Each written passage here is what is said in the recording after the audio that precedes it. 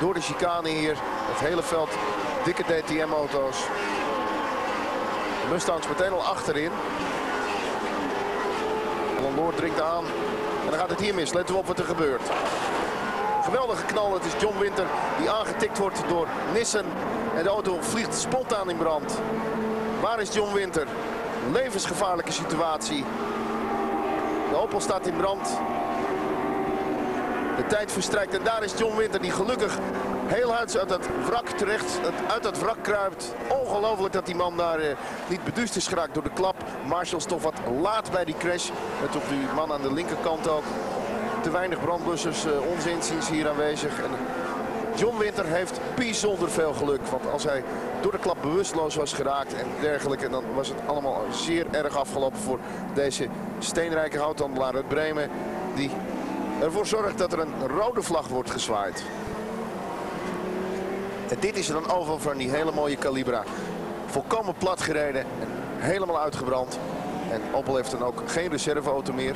En het zal zelfs voor de komende twee races moeilijk worden. En let u op wat er voor schade is aangericht aan de hekken. Daar zit John Winter in het gras. Wordt geholpen door de dokter die er dan wel meteen bij is. En John Winter mag van geluk spreken. Hij heeft brandwonden in het gezicht opgelopen.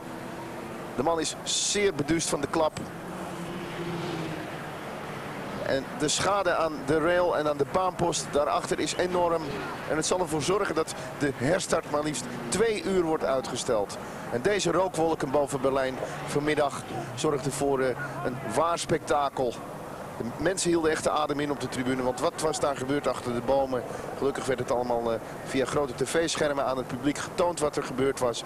En de mensen hielden de adem in. Hier nogmaals de klap. Let u op missen aan de buitenkant. John Winter, niets vermoedend, krijgt een tik. En schuift hier met zo'n 250 km per uur van het circuit af. Geen grindbak hier. En dat zorgt ervoor dat die Opel Calibra als een speer werkelijk hier de vangrail induikt. En dan explodeert die tank ongelofelijke vlammen zijn. 110 liter brandstof aan boord. En dat gaat in één keer gaat het in brand. De Opel motorkap wordt losgerukt. Hier zien we het vanuit de auto van Reuter wat er gebeurt. De camera zwenkt zelfs mee.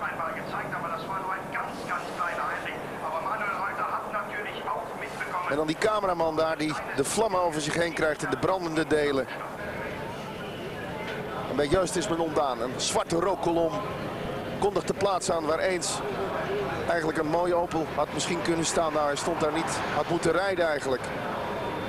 Reinhold Joost weet niet nog op dit moment wat er gebeurd is. En dan wordt John Winter door Reinhold Joost opgehaald met een eh, soort elektrisch autootje. En hij wordt als een held binnengehaald. Een gedrang van je welste hier.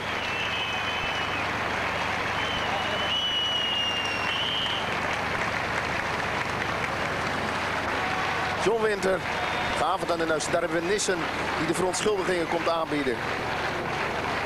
Nissen die zelf ooit uit een brandende auto ontsnapte en uh, zeer zware brandwonden opliep. En weet wat het is. It's, it was a regular uh, race crash. First lap, cars are close together, and uh, I think Chris touched me, but Chris was with me, and uh, this was, it was not his fault. It's like a normal race accident. Verschrikkelijk trouwens, hè? Yeah. It was. Uh, I, I didn't see it from outside now. Ik heb John Winter die de beelden nog niet had gezien.